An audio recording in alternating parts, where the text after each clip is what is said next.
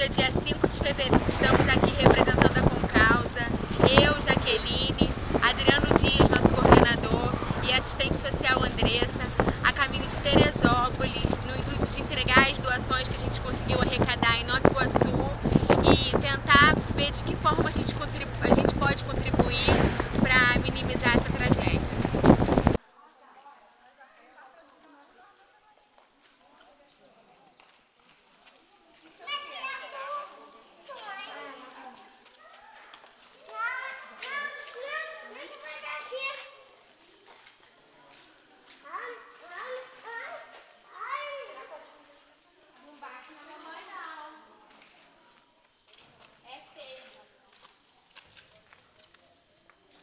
as pessoas que nós pegamos.